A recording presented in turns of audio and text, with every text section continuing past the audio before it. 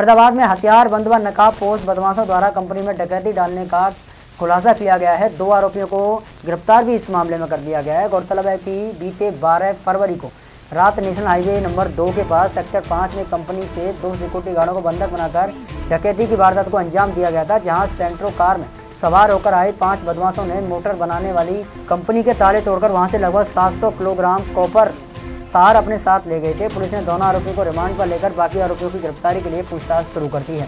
Plan विजय ने बनाया था फैक्ट्री में चोरी करी थी। कितना माल चुराया था? दो सौ तीन सौ किलो इससे पहले भी चोरी कर चुके हो? उससे पहले चोरी करी थी जेल जा चुकी हूँ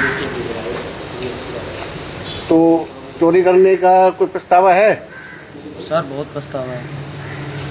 आने वाले भविष्य में ऐसी कोई घटना नहीं होगी।